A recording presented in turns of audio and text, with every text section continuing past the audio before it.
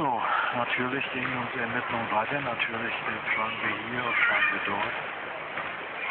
Überlegen, was war, überlegen, was wird sein. Und wir möchten nochmal darauf hinweisen, dass dieser 2.4.2012 ein Tag äh, mit einem Zugriff sein sollte.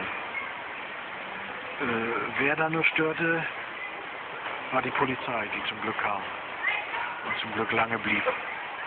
Man hat wohl wirklich noch gehofft, ich sag das mal so in ihrem Ganoven-Job, äh, in ihrem Ganoven-Jargon, äh, sie haben wohl gehofft, dass die beiden blöden Bullen endlich abhauen. Was wollen die blöden Bullen da bloß immer zu, ne? Weil die anderen waren ja relativ friedlich und haben im Prinzip nur so getan, als wenn sie was suchen und gewartet, dass die beiden Polizisten gehen. Ein Glück, dass diese beiden Polizisten da waren.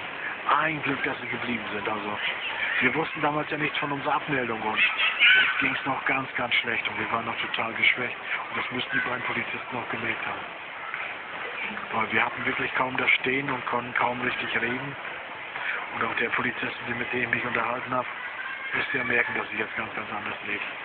Musste auch merken, dass ich damals noch nicht richtig das Reden hatte. Und äh, das war wirklich ein Zugriff. Wie gesagt, wir wussten ja nicht, dass wir abgemeldet waren. Man hat alles versucht, der Schlimme war, man hatte einfach ständig in der Zeit auch das Betäubungsmittel weiter in die Wohnung strömen lassen. Dadurch hatte ich immer wieder diese Reaktion, dass ich immer wieder erbrechen musste, obwohl nichts mehr kam. Dadurch äh, war natürlich auch die Denkleistung aller anderen beeinträchtigt, aber das war denen natürlich egal. Also es war ein Zugriff und man war auch im Treppenhaus überall, man war auch in der Wohnung überall hat nur gewartet, dass man auf uns rankommt, an uns rankommt, bei einer offenen Wohnung. Ohne Polizei natürlich. Man hätte uns da einfach überrumpelt. Das möchte ich doch nochmal ein eindeutig sagen. Es ist erschreckend. Das ist auch gut, dass die Polizei so gehandelt hat. Ja, da kann, kann sich die Polizei bei diesen beiden Polizisten schon bedanken. Da können sich wirklich riesige Bienchen auf die Tüte nehmen. Da werden sie noch viel, viel Glück haben mit Sachen, die wir noch rauskriegen werden. Wo sie dann total versagt haben. Weil sie wirklich dachten, ich bin ein Blödmann oder was weiß ich. Ja, weil sie in unserer Wohnung vielleicht eine Kalaschnikow gefunden haben. Oder. Also, naja, ich meine, darauf sind sie aber nur schon selbst gekommen, dass man in eine Wohnung irgendwas legen kann. Ne? Und dann, äh, dann Polizei kommt und dann irgendwas findet. Ne? Glaube, darauf sind sie jetzt endlich auch gekommen. Und vielleicht kommen sie auch darauf, dass wir das nicht sagen können. Ne? Weil das wäre ja wohl das Letzte, wenn wir lügen oder kriminell wären. Das wäre echt das Letzte.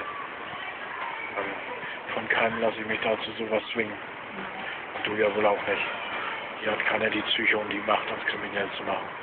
Oder dazu zwingen, zu zwingen, kriminell zu werden. Gut, wir mussten Blanco unterschreiben in den Behörden, wie wir es auch in Rostock machen mussten, damit wir überhaupt Geld kriegen.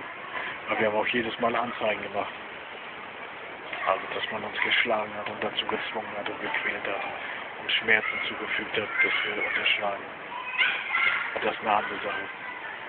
Jetzt bin ich ein bisschen weggekommen vom Thema. Aber das reicht wohl schon, ne? oder möchtest du noch was sagen? Ja, ich muss nochmal anmerken, Abgebotszugriff auf uns. Also die Kinder waren wir ja, wir haben es zwar schon mal gesagt, aber man muss auch noch einmal eindeutig sagen, dass man zuerst, bevor die Polizei kam und die Tür aufgemacht wurde, versucht hat zu hypnotisieren. Ne? Und das verstärkt uns ja auch noch. Ja. In der Tatsache, ja. dass man einen Zugriff gefahren hatte. Denn das Wort Polizei war ja schon immer ein äh, Wort, ein Signalwort für uns wurde ja nicht umsonst immer unter unseren Transportern geschrieben. Und ähm, des Weiteren wurde das ja immer so in so einer monotonen Stimme, immer durch die gleiche, äh, durch die Tür gesagt, bitte machen Sie raus, jetzt, Polizei, alles normal gewesen. Ja, wir sollten dabei eben ruhig bleiben. Man wollte uns richtig äh, festhalten und äh, unter Hypnose zwingen und wir sollten ruhig bleiben. Ne? Man bricht unsere Tür auf, man geht mit Gewalt in die Wohnung. Aber das ist ja nicht so schlimm. Das ist ja die Polizei.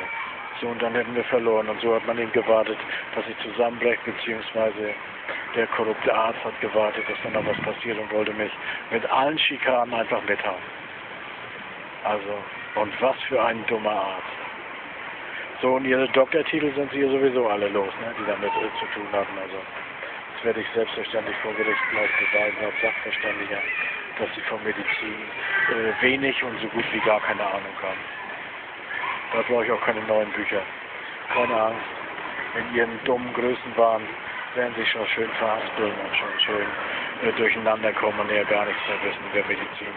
Wie es sich gehört, wenn man nur so einen geringen Verstand hat. Danke für Ihre Aufmerksamkeit.